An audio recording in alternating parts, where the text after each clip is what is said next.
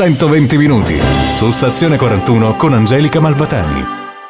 Pronti al volo, abbiamo appena scanavettato fuori dalla nostra stanza Marco Renzi che In maniera un po'. Sì, sì, no, non si riesce a mandarlo via, eh, però il suo posto è stato preso a forza da Corrado Virgili, buongiorno. Buongiorno. Che sta minacciando Marco su tutto il suo regno dal carnevale, ah, però lui revata tutto, non so se mi Eh, spiego. Cose vecchie. Roba vecchia.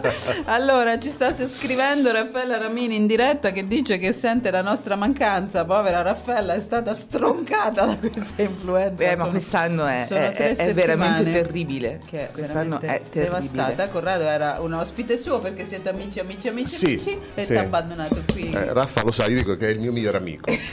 a Raffaella, posto, esatto. sono soddisfazioni È piacevole. per una ragazza, insomma, Sì, sentirsi sì, sì, dire- abbiamo un rapporto particolare. sì, sì. Quindi ti ha convinto a venire qui da noi e poi ti ha mollato e quindi accontentati. È il destino. Accontentati. È così. Senti Michela, tu lo conosci Corrado? Di nome, Di fama, e poi di colori, di disegni Esatto, e di bellezza sì. diffusa di in nome, questi di anni. colore. Sì, sì. Bellezza lo- diffusa è una Sì, cosa sì. che prendo e porto a casa. Eh, porta a so casa che non è perché- riferito a me Eh, personalmente, eh, però... Ai tuoi lavori sicuramente Sì. sì, perché io ti ho Sì. conosciuto con la Gazzaladra Sì. del dottor Macchi, che è, un, è un gioiello, eh, non è un libro, è un gioiello, è veramente bellissimo. E tu hai trovato esattamente le immagini da disegnare per raccontare quella storia eh, poetica e delicatissima che il dottor Macchi ha realizzato.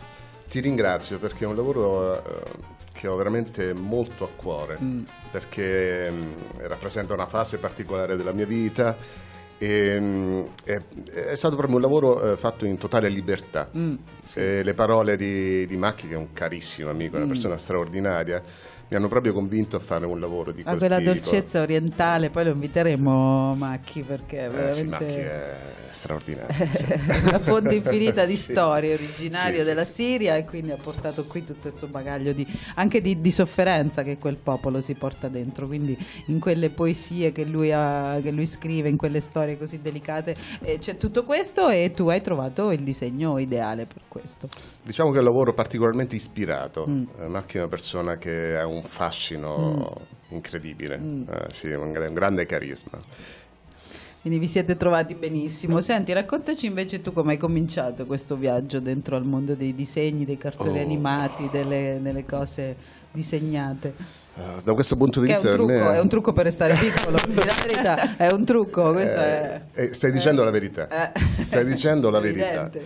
Eh, in realtà per me è stato abbastanza semplice.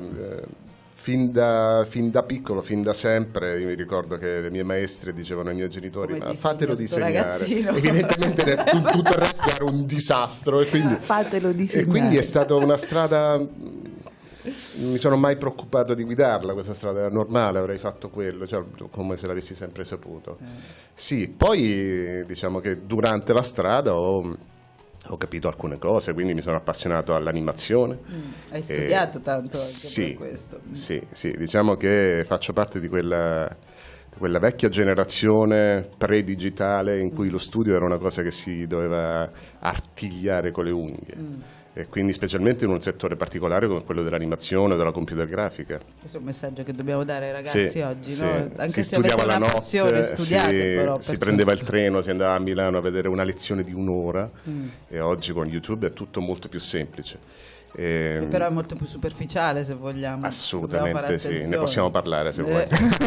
sì, anche una settimana penso ne possiamo parlare. Eh. E quindi hai cominciato così, hai Sì. studiato, hai fatto e poi hai fatto l'incontro con le Wings anche. Sì, Quelle ehm, fatine magiche che si sono sì. conquistate il mondo. Guarda, tu No. somigli un po' alla Eh, fatina è delle una Wings. Wings. Sì, le. Wings, le Wings è stato un periodo incredibile della mia vita perché due. Le- le- le- sì, è vero Eh, è una- vabbè. è una cosa particolare perché io sono marchigiano sono nato a Fermo ma ho incontrato le Wings a Roma perché io già abitavo a Roma per- perché ho fatto altri tipi di esperienze lavorative nell'animazione ho lavorato poi alla RAI e improvvisamente mi hanno contattato a Roma quindi i guazzi marchigiani mi hanno cercato a Roma perché eh, stavano creando questa struttura che si chiama Rainbow CGI per eh, diciamo, portare le Wings al cinema. E quindi eh, da lì ho incontrato le Wings, ho capito che, qual era il mondo, che fenomeno che era. poteva sì. essere. E, mm, e quindi è stata un'esperienza mm, molto bella, molto Mm. interessante, molto formativa, mi ha permesso di lavorare anche eh, diciamo, su un livello internazionale, di confrontarmi con aziende internazionali. Sono- eh, professionalmente è molto molto importante. È un per me. posto dove si dà spazio molto ai giovani anche, no? Al talento. Lo stesso Sì. fondatore era giovanissimo all'epoca. Assolutamente sì, Eh, questo è verissimo, è anche un posto dove si fa industria di intrattenimento, Mm. si prova, quindi per me è stato bello attraversare una fase della mia vita eh, in, quella, in quella struttura e poi, poi cambiare, ma semplicemente perché eh, realizzare prodotti di animazione è un processo lunghissimo, Mm. un film eh, dall'inizio alla fine più o meno la produzione dura mm, tre anni, Mamma anche di più. E- eh sì, eh sì. Pensavi che era una roba di un mese? E quindi io ho avuto la fortuna di avere un ruolo di direzione, ero direttore artistico per questa azienda, e, però tre anni si lavora solo sempre nello stesso progetto. E quindi dopo un po' ho avuto l'esigenza di lavorare su progetti più piccoli, più corti, più snelli e cambiare spesso Eh beh, insomma, soggetto. È un creativo se lo tieni dentro una gabbia lunga Sì, tre è anni. un po' una sembra che- costrizione, sì. Esiste, esiste il blocco del disegnatore come quello dello scrittore, nel senso quotidiano, qualche- assolutamente sì. Eh, anche perché poi bisogna fare una distinzione, eh, molto spesso si fa la confusione tra essere professionista e essere artista, E sono due, due strade completamente Ah, diverse. certo. L'essere professionista, ehm, eh, l'esigenza è che ogni giorno devi essere creativo. E quindi Ah, bisogna... ora Che fino ansia. a- Esattamente. all'ora tot. Sì, a richiesta. Eh beh, come per noi giornalisti, Esatto. no? Tu alle tre bisogna che cominci a scrivere perché sennò se ce l'hai l'ispirazione o non ce l'hai, Quindi te la fai venire. Il blocco devi trovare dei modi per aggirarlo quotidianamente. Il problema Sì. è che queste sono cose che tu fai con l'emozione, quindi l'importante Sì. è cercare sempre quell'emozione lì, se no il blocco. O comunque viene una cosa fredda e tu non le fai le cose fredde mai. Io ti ringrazio, però eh, ritorno al discorso che, che- che dicevi tu prima, il, il segreto secondo me è rimanere bambino. Mm. Eh, quindi io faccio di tutto per mettere da parte ogni piccola emozione, la metto tipo in un cassetto e poi quando serve cerco di riaprirla. Eh, che bello, Eh, che grande questo- fortuna, ci picchia. Beh, eh, sì, da un certo punto di vista mi sento fortunato. Privilegiato, che- sì, sì, che non riesci- io di- difficilmente mi annoio. Eh, ci credo, giochi con te stesso.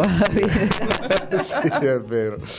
Senti, stai andando molto anche nelle scuole, stai incontrando molti ragazzi. Per quello di cui stavamo parlando. portando dentro al mondo dei cartoni animati. Sì, ehm, allora, io lo dico sempre, non, eh, non lo faccio perché ritengo che questa sia una missione nei, nei confronti dei, dei ragazzi. Eh, sono onesto, è una cosa che serve molto a me, eh, avere un confronto e un continuo eh, diciamo, scambio eh, di, Certo. di informazioni con i, con i bambini, con I i ragazzi ragazzi. cambiano Sì. comunque. Eh, mi costringono a essere sempre eh, in forma. Sveglio. Esatto, e di mettere sul tavolo sempre qualcosa di creativo. Eh, però oltre a questo effettivamente ho trovato una, una cosa su cui mi impegno moltissimo, che è ehm, un po' l'educazione visiva, eh, perché queste nuove generazioni sono analf- degli analfabeti e questo è molto pericoloso, viene sottovalutato. Non sanno più, mh, eh, non sanno, oppure non, sa- mh, non l'abbiamo mai saputo fare in realtà, leggere ehm, le immagini no? Eh, come codice. Eh, se qualche anno fa era meno importante, oggi è fondamentale. E quindi questi ragazzi devono capire che parlare con le immagini è un linguaggio è molto pericoloso se non lo si sa gestire. Ah, perfetto, quindi li aiuti anche sui social Sì. con le loro immagini, con le loro situazioni. Sì, Perché spesso non sanno quello che, che fanno, che fanno, quello sì. che mettono in onda e tutto. Io dico sempre, mi ricordo un po' quando io da bambino non, non capivo una parola d'inglese e canticchiavo il mio inglese E non si sa che pensavo che, che le canzoni erano meravigliose. Poi crescendo ho imparato un po' di inglese e mi ricordo che cercavo di canticchiare delle canzoni assolutamente stupide, assurde, a volte offensive e quindi bisogna conoscere quello che si fa. Esatto. Quindi così. diventa una roba Sì. brutta. No, bello, bello. I ragazzini rispondono però. immagino. Assolutamente.